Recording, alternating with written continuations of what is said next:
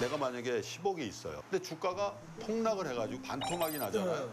그럴 때는 어떻게 하냐면 예금을 헐어서 여기다 주식을 좀 더 사는 거예요. 그래서 20%를 맞춰요. 맞춰요. 근데 주식이 올라버리잖아요. 그러면 또 좀 줄이는 거예요. 줄여서 아, 20%. 그래서 예금으로 가고 이렇게 해서 조절을 하신다고 생각하면 되는데 어떻게 생각하냐면 싹 저점에 들어갔다가 딱 고점에 싹 나왔다가 다시 남들. 막 남들 폭망할 때 내가 싹 들어가서 나 혼자 다 먹고 그게 안 돼.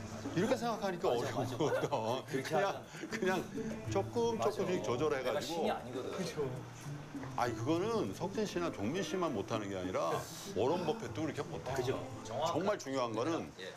본업, 예. 본진이라고 하잖아요. 예, 예.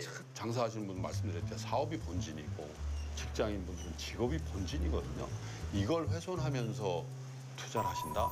그거는 장기적으로 보면 굉장히 크게 리스키한 거죠. 제일 중요한 말입니다. 맞아요. 이게 사실 본업에 피해를 안 줄 정도의 금액이 적당한 것 같아요. 예, B2는 정말 나도 해본 적이 있지만 절대, 안 절대 돼요. 안 되고. 그러니까 내가 감당할 수 있을 정도의 돈을 가지고 네. 이 투자를 하는 게 맞는 것 같아요. 내 경험에 의하면. 공부하시면 그러면 그러니까 프로님은 우리 개미들도 근데 주식으로 돈을 많이 좀 벌 수가 있, 제 주변에 굉장히 많습니다. 많아요? 네, 굉장히 많아요.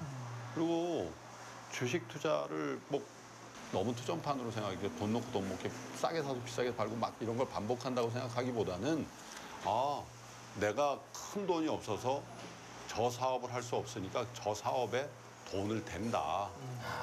그렇게 생각하시면 종목을 고를 때 힌트가 많이 납니다. 아 종목 고를 때 알겠습니다. 예, 예. 어쨌든 오늘 너무 좋은 말씀 많이 해주셨어요. 진짜. 그래서 저희가 정말 사실 여기 어디 죄송하지만 거의 납치라도 해서라도 한 네. 10시간이고 얘기 듣고 싶은데